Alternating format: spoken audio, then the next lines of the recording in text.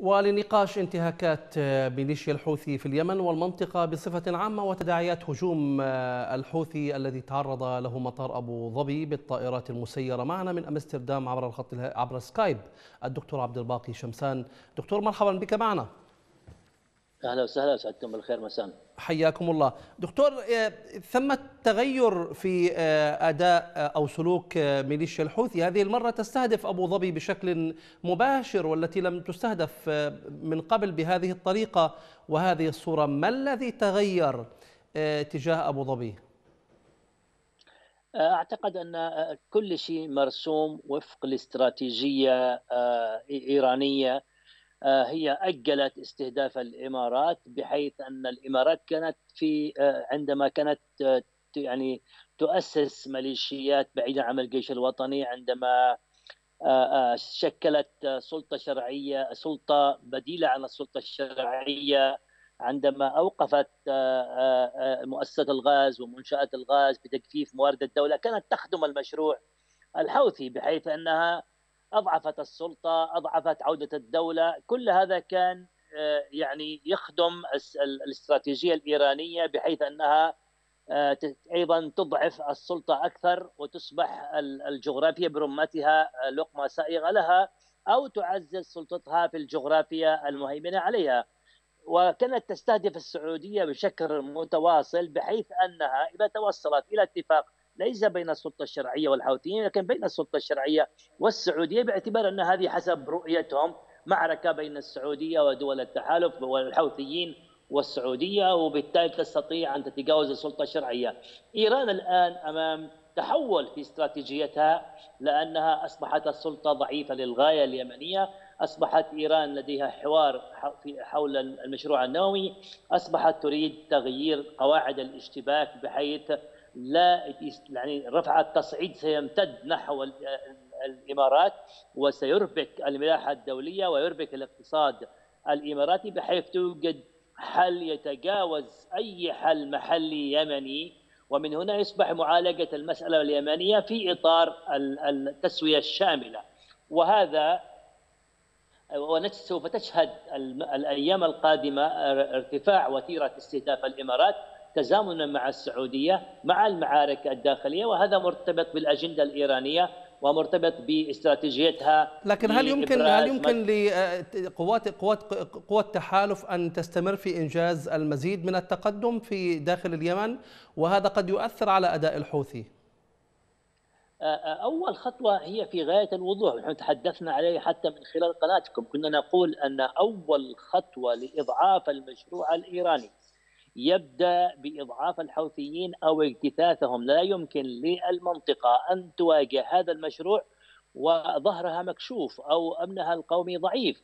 ولهذا أول خطوة هي عودة السلطة الشرعية وأن يصبح الذي يتخاطب مع العالم الخارجي يصبح السلطة الشرعيه حتى الآن سنلاحظ غياب للسلطة الشرعية وحضور والحوثي يريد هذا يريد أن يقول إن المعركة ليست بين الحوثيين والسلطة الشرعية التي انقلب عليها وإنما هذه معركة بين اليمنيين والإمارات ودول التحالف. وهذا خطأ في كيفية يعني تضليل الرايه العامه، المعركة هناك انقلاب تم، هناك تدخل وعلى دول التحالف أن تسرع في اعاده السلطة وفي وضعها في مقدمة المشهد بحيث تستطيع التعامل، أعتقد أن دول التحالف قادرة على إنهاء المشروع ولا تترك لإيران الآن أن تدخل الإمارات إذا وأن قادرة بالفعل دكتور ما الذي يمنعها من ذلك؟ والخطر يتهددها يعني أصبحت أمام أو أو تحت يعني رحمة الطائرات المسيرة سواء السعودية أو الإمارات.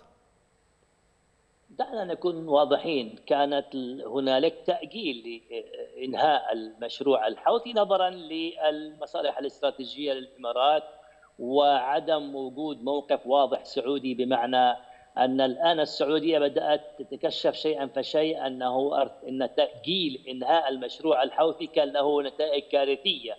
الإمارات كانت لست يعني بالعكس كانت تريد بقاء الحوثيين لأن مشروعها في المناطق الجنوبية يقوم على والآن؟ الحوثيين والآن؟